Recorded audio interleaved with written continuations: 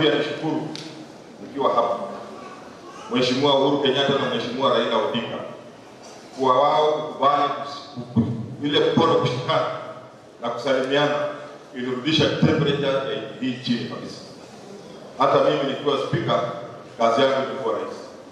Ile bunge wanaume walikuwa wanaongea wanaume na wamama walikuwa wanaongea kama wanatoka NGB, upande wa NASA na upande wa Jubilee. mnaona kwamba wanataka kushindana kwa, lakini mimi nikiwa spika lazima niwahakikishe kwamba watu wanazungumza vizuri. Tangu hawa viongozi wawili kushikana, watu wanaongea kama ndugu na kaka. Nataka niwashukuru na wao washafanya hivyo pia. Nataka nyinyi kama wananchi ambao mko maeneo yote ya Kenya pia tufanye kazi